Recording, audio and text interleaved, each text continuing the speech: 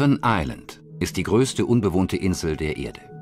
Aufgrund seiner topografischen Ähnlichkeit zur Mondoberfläche interessieren sich vor allem Weltraumorganisationen für das nur knapp 1000 Kilometer vom Nordpol entfernt gelegene karge Eiland.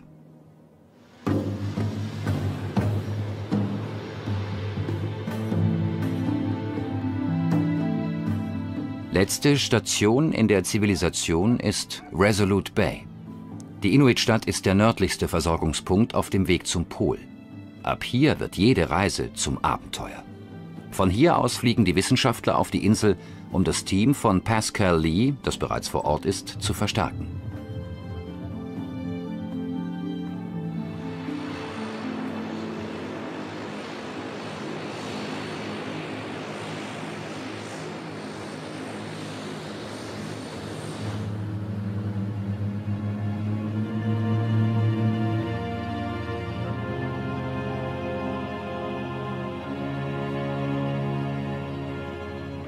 Charles Frankel wird in die Rolle eines Mondgeologen schlüpfen.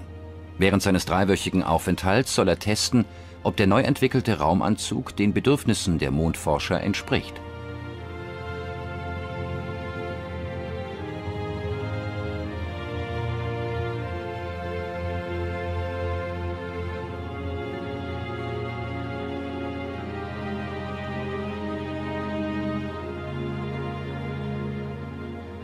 Die öde und doch wunderschöne Landschaft von Devon Island kennt er bereits. Es ist sein zweiter Besuch auf diesem kleinen Stück Mond inmitten der kanadischen Arktis.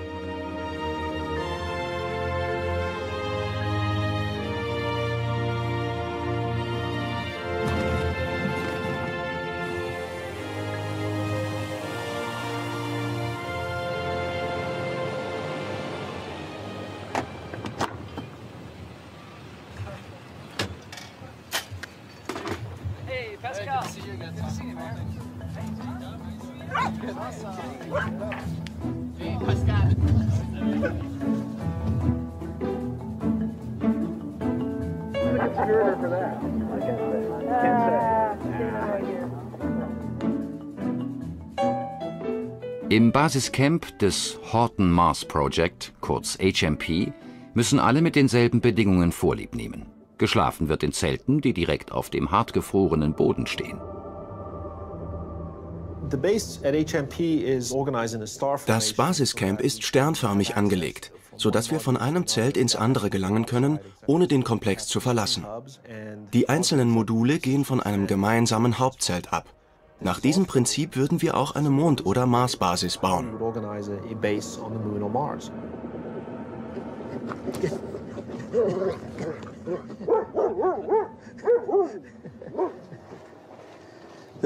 In diesem Zelt befindet sich das Kommunikationszentrum. Über Satellit ist das Kommunikationszentrum ständig mit dem Rest der Welt verbunden. Hier findet der Datenaustausch mit der NASA statt. Bei der Simulation von Erkundungsgängen auf dem Mond übernimmt dieser Raum die Rolle der Kontrollstation auf der Erde.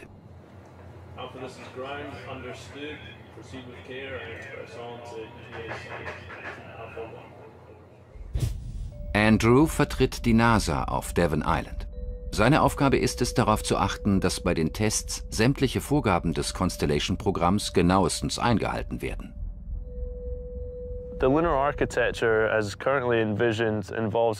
Der bisher favorisierte Bauplan sieht vor, einen Außenposten an einem polaren Mondstandort zu errichten, eventuell am Rande des Shackleton-Kraters.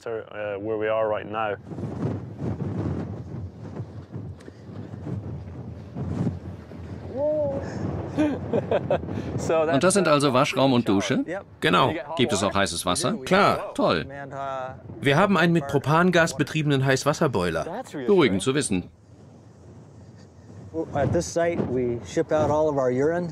Wir transportieren den Urin zur Entsorgung nach Resolute Bay. Allen anderen menschlichen Unrat verbrennen wir hier auf der Insel. Auf dem Mond würden wir versuchen, das Ganze in Algentanks aufzubereiten und Frischwasser daraus zu gewinnen. Dort drüben steht die Zeltstadt.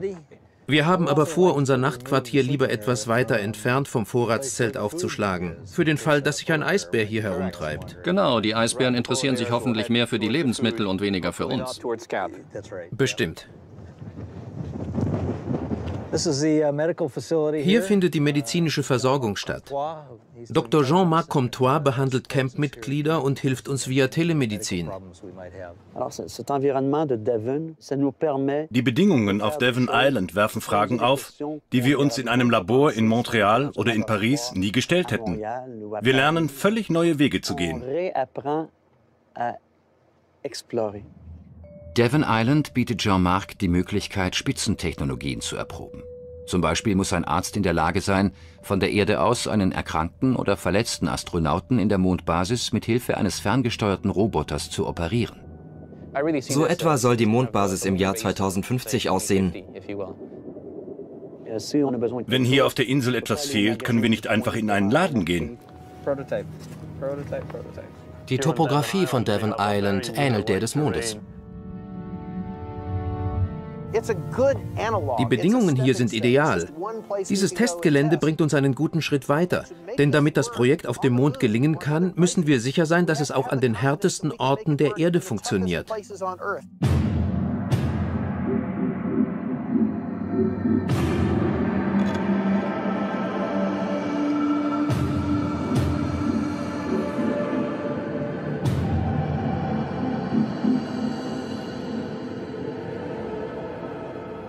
Devon Island ist noch aus einem weiteren Grund das perfekte Mondmodell für die Astronauten. Denn auf der eisigen Insel liegt einer der am besten erhaltenen Meteoritenkrater der Erde. Auch die bemannte Mondbasis soll am Rande eines Kraters errichtet werden, der in seinen gewaltigen Ausmaßen dem Horton-Krater entspricht, dem Fahrziel von Pascal Lee und Charles Frankel.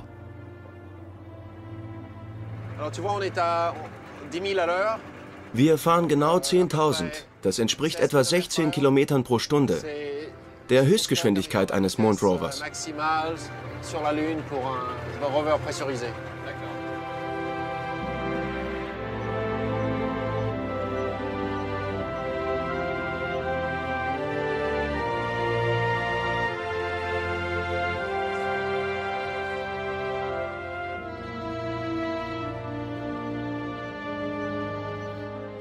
So ähnlich muss es sein, aus dem Schatten eines Mondkraters auf seine hell erleuchtete Spitze zuzufahren.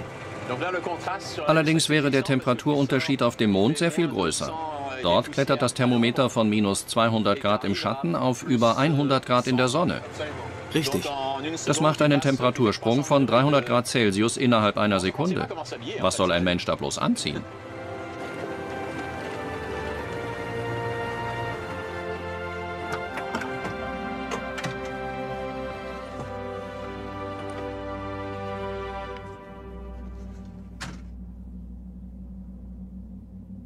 Von hier aus hast du einen guten Ausblick über die Kraterlandschaft. Der Hortenkrater misst etwa 20 Kilometer im Durchmesser. Und wissen wir, ob es ein Asteroid oder ein Kometeneinschlag war? Nein, aber es war vor etwa 39 Millionen Jahren. Und mit welcher Geschwindigkeit hat das Ding eingeschlagen? Schätzungsweise mit 15 bis 25 Kilometern pro Sekunde. Die Energie, die bei einem solchen Aufschlag freigesetzt wird, ist mit der Explosionskraft mehrerer Atombomben vergleichbar. Unter der Stoßwelle schmelzen Gesteinsbrocken und verwandeln sich in Lava. In Zehntelsekunden entsteht ein gigantischer Krater. Der Hortenkrater hat einen Durchmesser von 20 Kilometern, was, und deswegen ist es für Sie interessant, in etwa der Größe des, des Shackleton-Kraters entspricht. Der ist 19 Kilometer breit und liegt in unmittelbarer Nähe des lunaren Südpols. Nach Einschätzung der NASA ist er der ideale Standort für eine Mondbasis. Der Mondkrater Shackleton ist für die NASA von großem Interesse. Wegen seiner Nähe zum Südpol liegt der Grund des Kraters im Dauerschatten, während sein Rand durchgehend von der Sonne angestrahlt wird, eine notwendige Voraussetzung für die Nutzung von Solarkollektoren.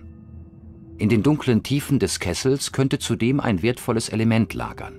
Wasser in Form von Eis, das, so die Hypothese, über Kometen auf den Mond gelangt ist. Wasser zum Trinken, zum Bewässern von Pflanzen, aber auch zur Gewinnung von Sauer- und Wasserstoff. Solche Eisablagerungen, wenn es sie tatsächlich gibt, wären eine unschätzbare Ressource. Sie wären eine Sensation, denn Mondgestein ist extrem trocken. Gehen wir weiter? Okay. Heute sind Geologen für wissenschaftliche Forschungsmissionen unverzichtbar.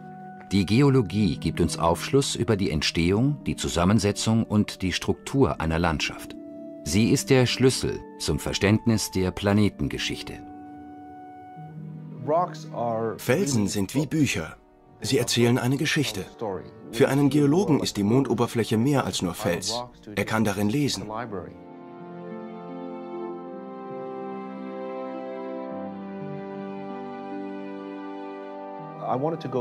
Es war schon immer mein Traum, einmal auf den Mond zu fliegen.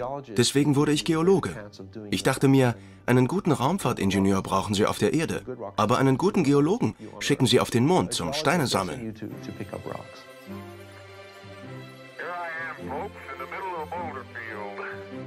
Von den zwölf Männern, die bisher auf dem Mond waren, kam nur einer nicht aus der amerikanischen Armee. Harrison Schmidt. Der Geologe war der erste Wissenschaftler auf dem Mond. Unter Astrogeologen gilt seine Forschungsleistung als legendär. Er ist auch der einzige Astronaut, der auf die Gefahr hin, seine Augen zu schädigen, das Visier seines Raumanzuges hochklappte, um die Farbe der Mondoberfläche unverfälscht zu sehen.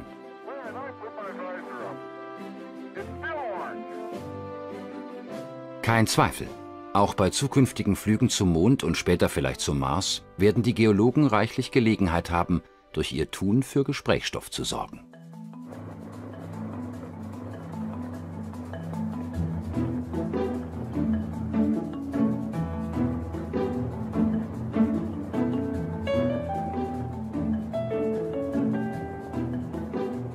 Unsere beiden Ausflügler kehren ins Basiscamp zurück.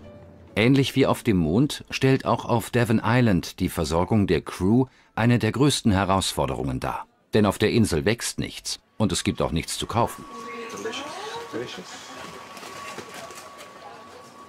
Die Logistik des Projekts ist ein strategischer Kraftakt. Aber was im Weltraum auf den Teller kommt, will gut überlegt sein. Studien haben nämlich gezeigt, dass die Qualität der Nahrung das seelische Wohlbefinden und die Leistung der Astronauten beeinflussen können. Seit geraumer Zeit tüfteln Wissenschaftler, Ingenieure und sogar Agronomen an der Lösung dieses Problems. Vor Ort frische Nahrungsmittel produzieren zu können, hätte viele Vorteile, aber die Umsetzung dieser Idee stellt die Ingenieure vor eine weitere große Herausforderung. So etwa sieht ein Gewächshaus aus, wie es einmal auf dem Mond stehen könnte. Es funktioniert autonom und wird ferngesteuert. Die Pflanzen wachsen nicht in der Erde, sondern in einer speziellen Nährstofflösung. Es ist eine Art Hydrokultur. Für ein Gewächshaus auf dem Mond spricht natürlich, dass der Anbau von Pflanzen eine positive Wirkung auf die Psyche hat. Pflanzen verbinden die Astronauten mit dem Leben auf der Erde. Es ist fast, als hätten sie ein Haustier mit im All. In derart lebensfeindlichen Umgebungen wie auf Devon Island oder auf dem Mond wird das seelische Gleichgewicht der Besucher auf eine harte Probe gestellt. Psychologen glauben, dass das Risiko, an einer Depression zu erkranken, durch den Kontakt mit Pflanzen oder Tieren deutlich sinkt. Auch Pascal hat übrigens einen Begleiter mit auf die Insel genommen. Seine Hündin Ping Pong, die ihm nicht von der Seite weicht.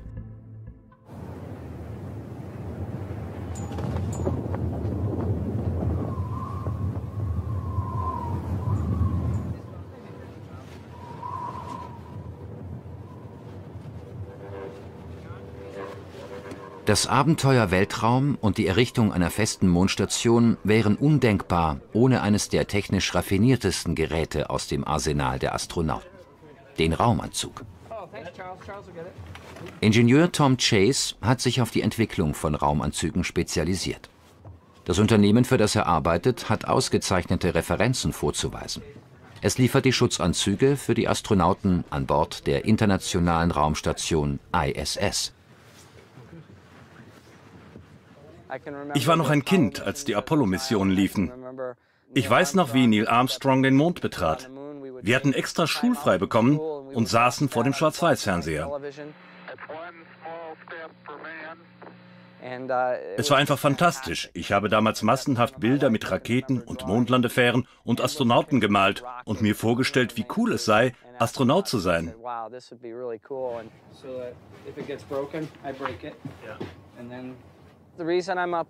Ich bin hier, um das Horton Mars Project zu unterstützen. Meine Firma hat einige Prototypen zur Verfügung gestellt.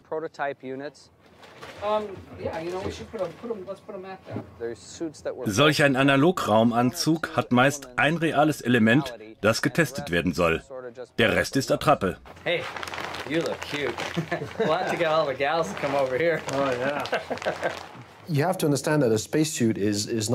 Ein Raumanzug ist mehr als ein bloßes Kleidungsstück. Er ist ein hochtechnisiertes Gerät. Darin integriert sind zum Beispiel ein System zur Erhaltung der Vitalfunktionen, eine Schutzschicht gegen Gefahren von außen, sowie ein Kommunikationssystem, also ein Bordcomputer.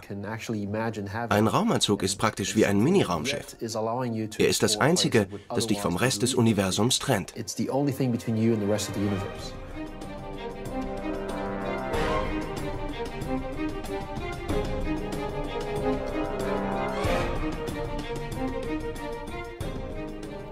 Mithilfe dieses Prototyps will Tom herausfinden, was in puncto Funktionalität und Ergonomie noch verbessert werden kann, wenn die Wissenschaftler das Raumfahrzeug für Erkundungsgänge oder Wartungsarbeiten, sogenannte Außerbordaktivitäten oder EVAs, verlassen.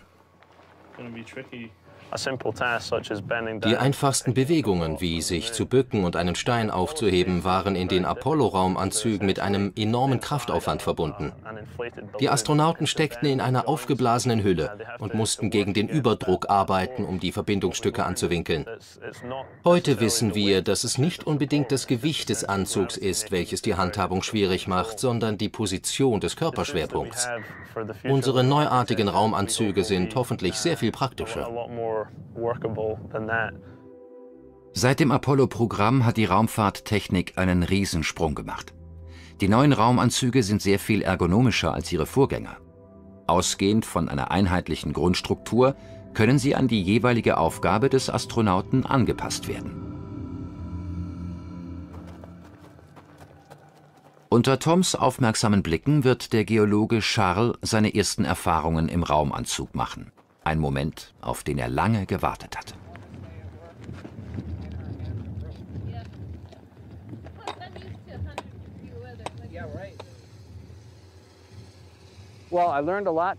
Ich habe heute unsere Geologen bei der Arbeit beobachtet und einiges dabei gelernt. Geologen entnehmen ihre Proben offenbar gern an Felswänden und dafür müssen sie klettern. Gesteinsbrocken, die auf dem Boden liegen, interessieren sie nicht. Deswegen müssen wir einen Raumanzug mit robusten Stiefeln konstruieren, die für eine Kletterpartie geeignet sind. Außerdem muss der Anzug flexibel genug sein, um den Geologen die größtmögliche Bewegungsfreiheit zu verschaffen. Das ist die Herausforderung für uns. Charles besinnt sich wieder auf die elementaren Handgriffe seines Berufs. Einen Hammer führen, einen Stein zerschlagen und ihn in einen Beutel stecken. Eigentlich Routine für einen erfahrenen Geologen, aber in diesem Fall mit Raumanzug und einer begrenzten Menge Sauerstoff muss der Wissenschaftler jede seiner Bewegungen genau überlegen und seine Ziele immer wieder überprüfen. Auf jeden Einsatz folgt eine Nachbesprechung, um möglichst frische Informationen zu sammeln, auf deren Grundlage gezielt neue Forschungsszenarien entwickelt werden können. In der Weltraumforschung wird nichts dem Zufall überlassen. Gab es Probleme mit der Ausrüstung? Hattest du zum Beispiel zu wenig Probenbeutel dabei? Nein, ich hatte genug Beutel dabei. Das Problem war eher die Größe. Die kleinen waren super und dann hatte ich noch sehr große. Zusätzlich hätte ich mir noch eine mittlere Größe gewünscht, etwa so, ja, so wie der hier, der ist ideal. Um ein interessantes Gestein später genauer untersuchen zu können, wird es in einen beschrifteten Kunststoffbeutel gesteckt. Scheinbar ein einfacher Handgriff, der unter den Bedingungen der Schwerelosigkeit und mit Handschuhen aber zum Geduldsspiel wird. War eine Viertelstunde für deine Begriffe lang genug? Eine Viertelstunde ist frustrierend, das reicht bei weitem nicht aus. Ich habe versucht, mich an die Vorgaben zu halten, also die Gesteinsproben vor der Entnahme zu fotografieren und anschließend dann die Fundstelle. Deshalb hatte ich dann keine Zeit mehr, mich weiter umzusehen. Was hat dich daran gehindert, deine Arbeit korrekt auszuführen? Es war ja nur eine Übung und die ist irgendwie dumm gelaufen.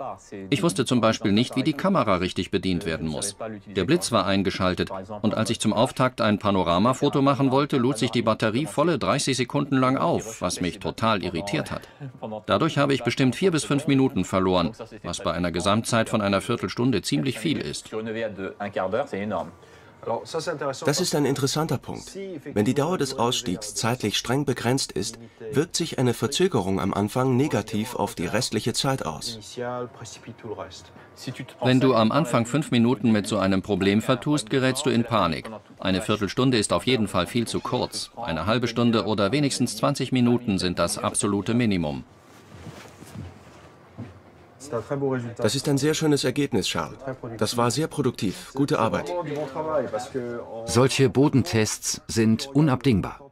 Simulationen im Labor oder auf dem Computer reichen nicht aus, um einen Raumanzug zu entwickeln, der für die Erforschung der Mondoberfläche geeignet ist. Doch nicht nur für die Oberfläche des Mondes interessieren sich die Wissenschaftler, sie möchten auch wissen, was sich darunter verbirgt. Brian Glass tüftelt seit geraumer Zeit an einem Werkzeug, mit dem die Mondkruste angebohrt und ihre Zusammensetzung analysiert werden kann.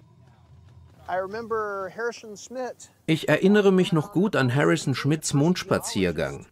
Er war der erste Wissenschaftler dort oben. Er hat die Geologie mit der Weltraumforschung verbunden. Für mich ist er in vielerlei Hinsicht ein Pionier. Brian und seine Kollegin Joanna testen zurzeit einen Spezialbohrer, der, wenn er hält, was er verspricht, auch auf dem Mond eingesetzt werden kann. Die Mondkruste ist ähnlich hart wie der Permafrostboden auf Devon Island. Joanna und Brian wollen den Wissenschaftlern einen vollautomatischen Bohrer mit auf die Reise geben, der möglichst wenig Energie verbraucht. Ein solches Gerät würde kostbare Zeit sparen und damit zur Sicherheit der Astronauten beitragen. Es geht nicht, dass die Astronauten herumstehen und warten, bis das Gerät seine Arbeit getan hat. Es muss ohne menschliches Zutun Gesteinsproben an die Oberfläche holen können. Der Bohrer macht alles alleine. Er ist vollautomatisch. Mit dem Energieverbrauch einer 50 Watt Glühbirne erfüllt der Spezialbohrer von Brian und Joanna nach nur wenigen Tagen alle Erwartungen. Geschafft! Ein Erfolg, der die Forscher für die vielen Entbehrungen fernab jeglicher Zivilisation entschädigt. Die Arbeit in dieser Umgebung ist ziemlich nervenaufreibend. Wenn etwas schief läuft, müssen wir improvisieren, weil wir keine Werkstatt zur Verfügung haben. Das ist dann der pure Stress. Wir müssen mit dem auskommen, was da ist, und das ist herzlich wenig. Andererseits ist die Freude riesengroß, wenn wir ein Problem lösen können, und dafür lohnt sich die Mühe allemal. Very rewarding to be working up here.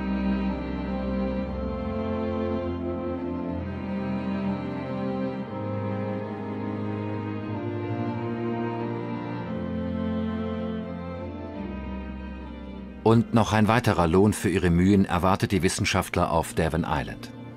Während der drei Sommermonate, die das Team in der kanadischen Arktis verbringt, wird es hier an der HMP-Forschungsstation nie richtig dunkel. Außer heute. Ein bis zweimal in 100 Jahren bietet das Ballett, das Erde und Mond am Himmel aufführen, den seltenen Gästen auf der Insel ein ganz besonderes Schauspiel. Eine totale Sonnenfinsternis. I can see it. I can see it. It's up there. I can see it. Die Nacht dauert nur wenige Minuten. Nach dieser willkommenen Unterbrechung kehrt im Camp wieder der Alltag ein. Auf dem Programm stehen physiologische Untersuchungen zum Sauerstoffverbrauch der Astronauten während einer EVA. Marcello, der Strahlenexperte, ist das Versuchskaninchen. Ich erinnere mich noch genau, wie wir 1965 in Argentinien eine der Gemini-Raumkapseln hoch oben am Himmel sahen. Ich war damals noch klein, doch den Anblick dieses winzigen Sterns, der unendlich weit entfernt über uns hinwegflog, werde ich nie vergessen. Dieses Bild trage ich in mir wie ein Virus, mit dem ich mich infiziert habe und das ich nie mehr loswerde.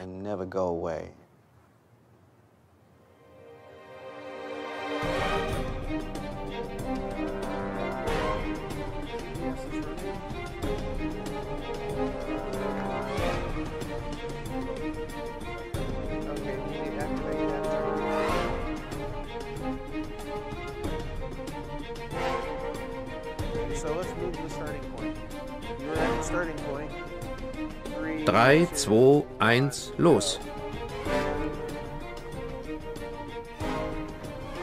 Marcello simuliert einen Marsch auf dem Mond, um herauszufinden, wie sich sein Pulsschlag und sein Sauerstoffverbrauch in schwierigerem Gelände verändern.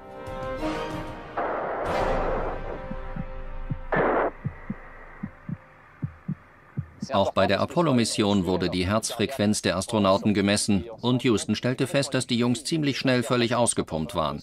Sie hatten einen Puls von 180-200 und die NASA musste sie auffordern, ins Raumschiff zurückzukehren.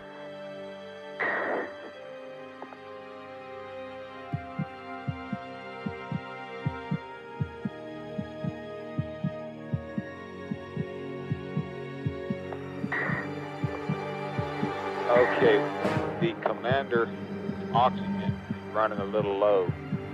Uh, he's using a little more than uh, normal. He's using a little more normal, and we used a little more normal at the press integrity check, and uh, we might run a little short of seven hours. Die Astronauten bekommen solches Herzrasen, dass sie nicht mehr arbeiten können. Das ist ungeheuer frustrierend für sie. Dieser Faktor muss unbedingt berücksichtigt werden. Mithilfe von Marcellos Simulationsdaten sind die Wissenschaftler nun imstande, ein mathematisches Modell zu entwickeln, um den Sauerstoffbedarf während eines Mondspaziergangs in den neuen Raumanzügen des Constellation-Programms zu berechnen. Dies könnte entscheidend sein, wenn eines der Mondfahrzeuge ausfällt und die Astronauten gezwungen sind, den Rückweg zur Basis zu Fuß anzutreten. Dieser Metallzylinder unter Marcellos Arm enthält einen sogenannten Dosimeter, ein Gerät zur Messung von Radioaktivität. Seine vorrangige Aufgabe ist es, sicherzustellen, dass die Wissenschaftler und Mitarbeiter der Basisstation während ihres Aufenthalts auf der Insel keinen gefährlichen Strahlen ausgesetzt sind. Gleichzeitig soll geprüft werden, ob ein solches Messgerät auch den Astronauten auf dem Mond von Nutzen sein könnte. Denn dort ist das Strahlungsrisiko zweifelsohne sehr viel größer als auf der Erde. Solche Instrumente werden mit Sicherheit in der Mondstation und vielleicht auch in den neuen Mondfahrzeugen installiert werden. Die gesundheitlichen Risiken, denen die Astronauten während einer Mondmission ausgesetzt sind, reichen von genetischen Mutationen bis hin zu Krebs. Eine extreme Strahlenbelastung kann innerhalb von 48 Stunden zum Tod führen. Bei einer entsprechend hohen Dosis geht das sehr schnell. Kommt es auf der Sonne zu Eruptionen, können tödliche Teilchen zum Mond gelangen. Dann ist die schützende Basisstation für die Bewohner die einzige Rettung. Nur der Kürze der Apollo-Mission und den aufmerksamen Beobachtungen der Astrophysiker ist es zu verdanken, dass den Astronauten damals die verheerenden Auswirkungen eines Sonnensturms erspart geblieben sind. Doch noch eine andere, vermeintlich harmlose Gefahr lauert auf dem Erdtrabanten. Der Mond ist mit einer dicken Staubschicht überzogen. Diese ist das Ergebnis unzähliger Meteoriteneinschläge, bei denen das Mondgestein zu teils meterhohem Staub zermahlen wurde. Mondstaub ist extrem fein. Ein Staubpartikel misst weniger als ein Mikron. Das ist in etwa die Größe von Bakterien. Zudem ist er außerordentlich scharfkantig und darf auf keinen Fall eingeatmet werden. Wenn die Astronauten ins Raumschiff zurückkehren, gelangt der Staub mit hinein und das ist Gift für die Dichtungen der Luftschleuse und der Türen sowie für die gesamte Elektronik. Die neuen Raumanzüge für das Constellation-Programm werden maßgeblich dazu beitragen, dass der gefährliche Mondstaub nicht in die Station gelangt. Bei diesem Modell sind weder Schleusen noch Türen zu passieren. Der Raumanzug klingt sich direkt in die Außenwand des Moduls ein und bleibt draußen. Die Astronauten steigen über eine Rückenöffnung aus.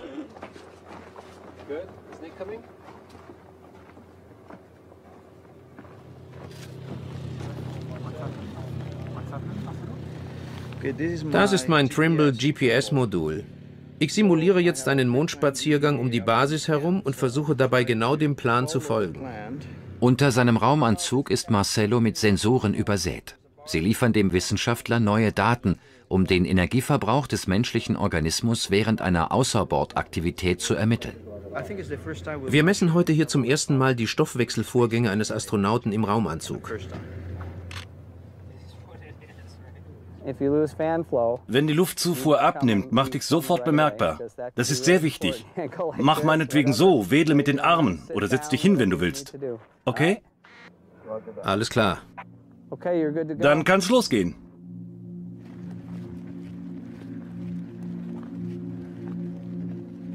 Diesmal absolviert Marcello einen Test unter realen Bedingungen im Raumanzug. Wenn er diese Daten dann mit den Ergebnissen aus der Trockenübung, also ohne Anzug, abgleicht, erhält er einen Koeffizienten, anhand dessen er den Energieverbrauch eines Astronauten im Voraus berechnen kann. Damit werden die Wissenschaftler mögliche Probleme in Bezug auf den Sauerstoffverbrauch, den CO2-Ausstoß und die Kondensation in dem begrenzten Raum des Anzugs in Zukunft besser vorhersehen können. Yeah, I copy. What's up? Yeah, you're working pretty hard in there. You're pretty heavily fogged up. The fan flow is still blowing, right? Yep. Okay, I'm um, trying to think what we could do to uh, up that a little bit. Die Nebelbildung im Raumanzug ist ein Problem, so alt wie die Raumfahrt. Trotz des ganzen Hightechs moderner Raumanzüge wurde bis heute keine bessere Lösung gefunden, als das Visier gegen Beschlagen mit Flüssigseife einzureiben. Very high tech, huh? Okay, so you doing okay, Marcelo? No rush. Watch your face on the way in. Yeah. On the right side, there you go. Okay. Okay. Jeder Raumanzug ist ein Unikat und muss speziell auf das jeweilige Gelände eingestellt werden, bevor er so funktioniert, wie es sich die Ingenieure vorgestellt haben. Uh, if you experience any uh, headaches, any slight headache, let me know and we'll, we'll just uh, bag it for a while. Nach einigen elektronischen Korrekturen arbeitet das Ventilationssystem wieder einwandfrei und Marcello kann seinen Mondspaziergang fortsetzen. Die Ähnlichkeit ist verblüffend. Copy that. I guess you believe we're here now, huh? Now we believe here. We see you in person. That's beautiful. This has got to be one of the most proud moments of my life, I guarantee you.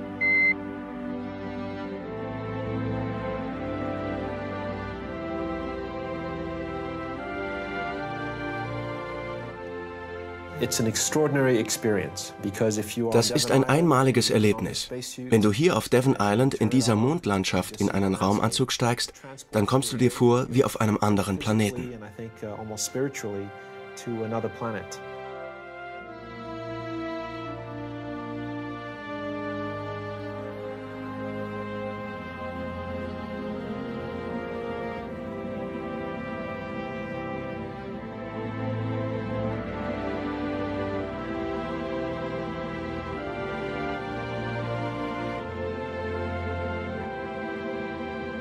Der kurze Polarsommer neigt sich dem Ende zu. Schon bald werden die Temperaturen auf minus 60 Grad sinken.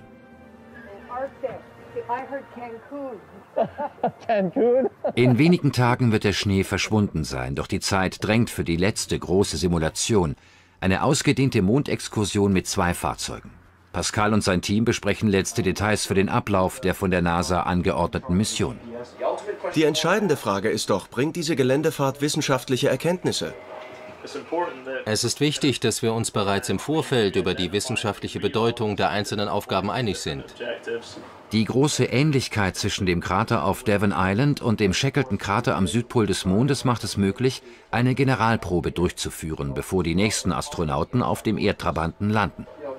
Wisst ihr, was die EVAs und die Geländefahrten anbelangt, hat sich nicht viel geändert. Tag 1, der erste Rover verlässt die Basisstation. Die Expedition um den Krater auf Devon Island ist die Gelegenheit, das von der NASA geplante Szenario auf die Probe zu stellen. Zwei bemannte Fahrzeuge sollen den Krater von beiden Seiten halb umrunden und im Idealfall nach zwei Tagen aufeinandertreffen. Hier wird der Treffpunkt mit dem zweiten Fahrzeug sein. An dieser Stelle kann der Rover gut halten. Ein malerischer Flecken, fast wie der Rand eines Mondkraters im Dauerschatten. Auf dem Mond könnte das alles Mögliche sein. Bei diesem Szenario stehen Effizienz- und Sicherheitsüberlegungen im Vordergrund. Zum einen lässt sich so ein größeres Gebiet abdecken und zum anderen kann notfalls ein Team dem anderen zur Hilfe kommen. Seit dem legendären Mondauto der Apollo-Mission hat die Rover-Technik gewaltige Fortschritte gemacht.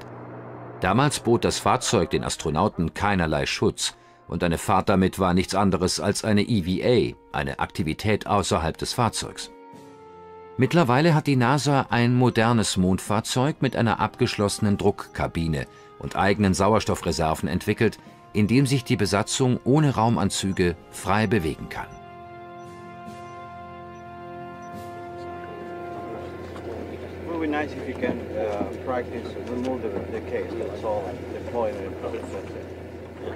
uh, okay, Leute, wir nehmen alles mit, was für eine solche Geländefahrt nötig ist. Also lasst uns mal die Checkliste durchgehen. Funkgeräte, Erste-Hilfe-Kasten, Schusswaffe, Quadpolster, Quad-Abschleppseil, Quad-Ersatzreifen, Quad-Radnaben.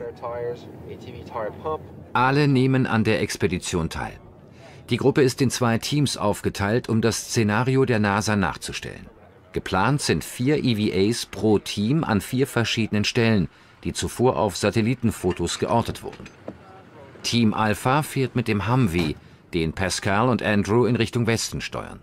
Drei Quads werden das Fahrzeug begleiten. Team Bravo besteht aus sechs Quads und bricht unter der Führung von Charles und Brian in Richtung Osten auf. In zwei Tagen werden sie sich auf der anderen Seite des Kraters wiedersehen. Bis zum festgelegten Treffpunkt sind es mehrere hundert Kilometer, die die Fahrzeuge mit maximal 16 Stundenkilometern, der Höchstgeschwindigkeit eines Mondrovers, zurücklegen werden.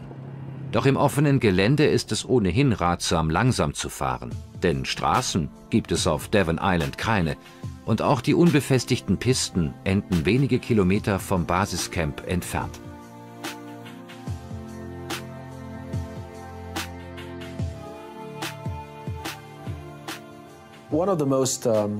Eines der erstaunlichsten Phänomene auf Devon Island ist, dass ganz gleich wohin du fährst, du mit Sicherheit der Erste bist, der einen Fuß auf diesen Flecken Erde setzt.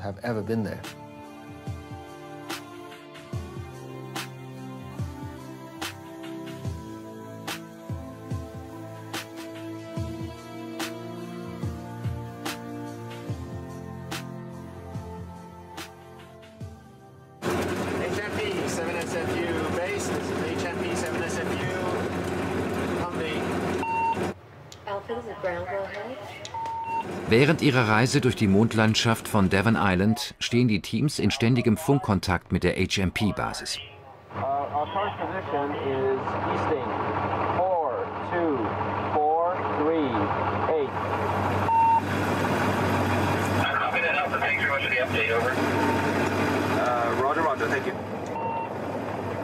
Im Augenblick geben sie alle 15 Minuten ihre Position durch. Wir speisen die Daten hier ins System ein und können so sehen, wo sie sich gerade befinden. Mithilfe der Software, die Nick entwickelt hat, kann die Route der Forschungsteams zunächst geplant und dann in Echtzeit bis auf einen Meter genau auf der Karte verfolgt werden.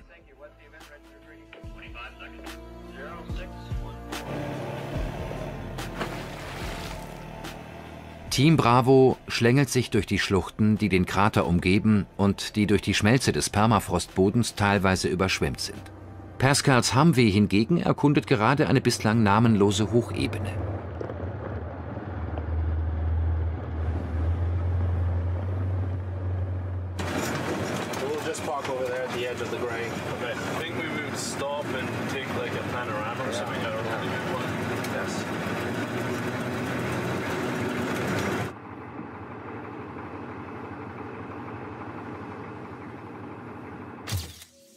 Wie schon die Astronauten der ersten Mondflüge fotografiert Andrew, was das Zeug hält.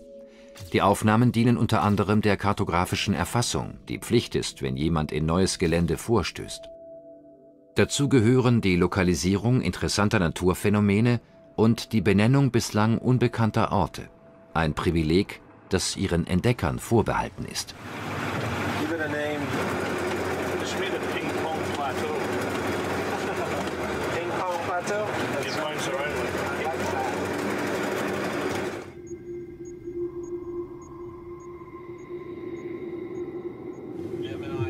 Team Bravo wurde durch eine banale Reifenpanne aufgehalten. Sie sind mit Sicherheit die ersten Menschen, die dieses Tal durchqueren, das ihnen seinen künftigen Namen verdankt. Tal des Planeten der Affen. Yeah, it's good. It's good?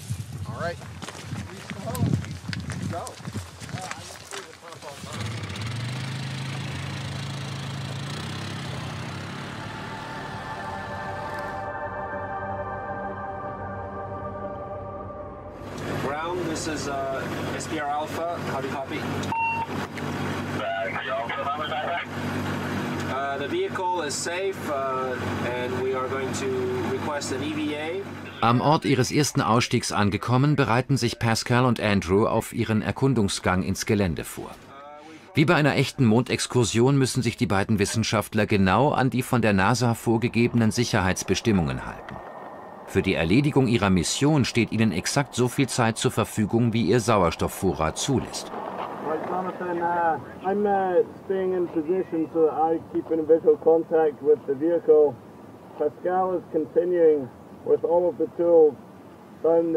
Uh. Genau wie einst bei der Apollo-Mission führt ein Mann die Aufgaben aus, während sich der andere bereithält, dem Kollegen zu assistieren oder zu Hilfe zu kommen. Der Ablauf einer Außerbordaktivität kann in einem kleinen Heft, das jeder Astronaut am Handgelenk trägt, nachgelesen werden. Die Apollo-Besatzung fand dort außerdem kleine Scherze, die die Ingenieure zu ihrer Erheiterung hineingeschmuggelt hatten. oh, you think you're so clever.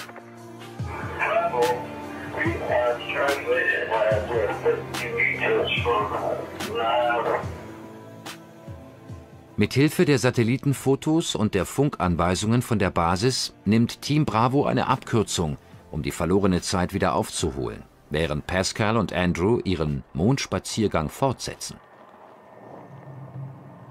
Pascal muss zunächst einmal einen Gnomon aufstellen, einen Schattenstab, mit dessen Hilfe sich später auf den Fotos die Originalfarben erkennen lassen. Der strenge Ablauf dient allein der Sicherheit der Astronauten und dem Erfolg der Mission, doch er kann auch zum Stressfaktor werden und den natürlichen Instinkt der Forscher ausschalten. Die Geschichte der Wissenschaft ist voll von glücklichen Zufällen, die zu großen Entdeckungen geführt haben. What in the world is that? That's rock.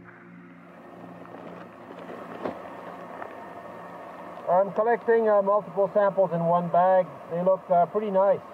Oh, copy. Roger. Understand the cosmic ray. Der bisher längste Besuch auf dem Mond hat dreieinhalb Tage gedauert.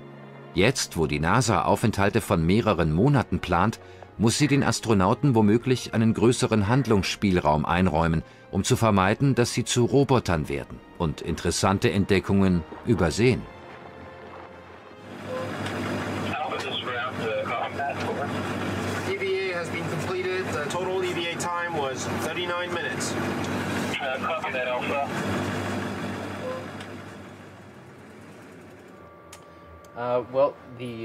Der Humvee ist hier grün dargestellt und das Quad durch die orangefarbige Markierung. Nach dem, was wir zuletzt gehört haben, sind sie nur noch wenige hundert Meter voneinander entfernt. Der Humvee ist auf dem Weg zurück zu diesem blauen Kegel. Das ist der Treffpunkt.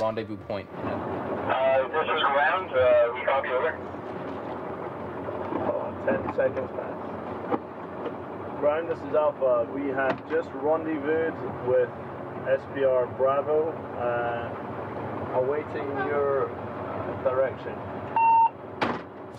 Im Großen und Ganzen hat sich das Szenario der NASA als erfolgreich erwiesen, auch wenn es nicht ganz leicht war, den Zeitpunkt des Zusammentreffens auf die Minute genau vorherzubestimmen. Schließlich kann es in unbekanntem Terrain immer wieder zu Verzögerungen kommen. Nun werden sämtliche Daten zur Auswertung an die NASA weitergeleitet. Die Ergebnisse werden dann in die nächsten Testprogramme einfließen, wie zum Beispiel in die Simulationen mit dem Prototyp des neuen Mondfahrzeugs, die regelmäßig in Arizona stattfinden.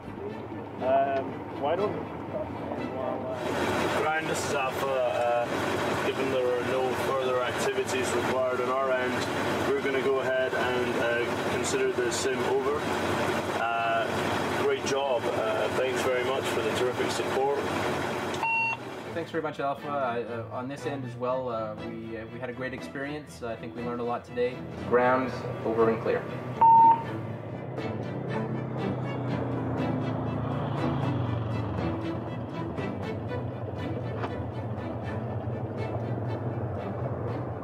It was an amazing day. Really? And the weather was on our side. Yep. Yeah, it was perfect. Yeah, all there. oh, completely unbelievable, but totally fun to watch. Yes, special. And we didn't get lost, and no one got stuck, and we dealt with ATV repairs. And, and, we dealt with an area that really hadn't been traveled before, so we didn't have any tracks or roads. Für mich persönlich war dieser Sommer eine große Bereicherung. Vor allem wegen der intensiven Planung und Umsetzung solcher langen Geländefahrten. wie wir sie eines Tages auf dem Mond unternehmen werden.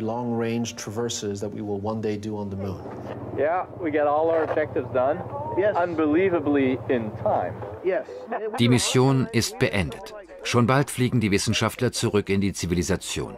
Einerseits freuen sie sich auf den Komfort, der sie dort erwartet, aber der Abschied von diesem Ort, der so wenig irdisch anmutet, fällt auch schwer. Devon Island hat ihre Erwartungen nicht enttäuscht. Die mondähnliche Insellandschaft war das perfekte Testgelände.